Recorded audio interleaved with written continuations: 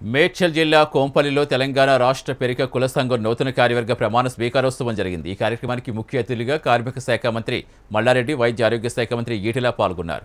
గౌరవ అతిథులుగా తెలంగాణ శాసనమండలి చీఫ్ విప్ వెంకటేశ్వర్లు తెలంగాణ శాసనసభ విప్ గోవర్ధన్ తదితరులు విచ్చేశారు. వెంకటేశ్వర్లు ఎన్నికైన సభ్యుల చేత సామూహికంగా ప్రమాణ స్వీకారం చేయించారు. ఈరోజు తెలంగాణ రాష్ట్ర పెద్ద కుల సంఘం నూతన కార్యవర్గంగా ప్రమాణ స్వీకార కార్యక్రమానికి వచ్చేసినటువంటి ఈటల రాజేందర్ గారికి మరియు చాంకూర మల్లారెడ్డి గారికి గంప గోవర్ధన్ గారికి మరియు బోడకుంటి వెంకటేశ్వర చీఫ్ గారికి మరియు కుల సోదరులకు పెద్దలకు అందరికీ నన్ను ప్రెసిడెంట్గా ఎన్నుకున్న అందరికీ పేరు పేరు నమస్కరిస్తూ వారికి ధన్యవాదాలు. ముఖ్యంగా ఈ రాష్ట్రంలో మేము రెండు లక్షల పదకొండు వేల జనాభా ఉన్నాము. ఈ జనాభా మొత్తం పల్లెటూర్లలో వ్యవసాయం వ్యవసాయ కూలీలుగా కొంతమంది గవర్నమెంట్ ఉద్యోగస్తులుగా ప్రైవేట్ ఉద్యోగస్తులుగా అన్ని రంగాల్లో ఏర్పడి ఉన్నారు. మా మాకంటూ కులానికి ఏ వృత్తి లేదు. వృత్తి మొత్తం మాయమైపోయింది కాబట్టి అందరం కూడా మేము విద్య మీదనే ఆధారపడి ఈరోజు చదువు మీద కాన్సన్ట్రేషన్ చేస్తున్నాము. ఆ చదువు ద్వారా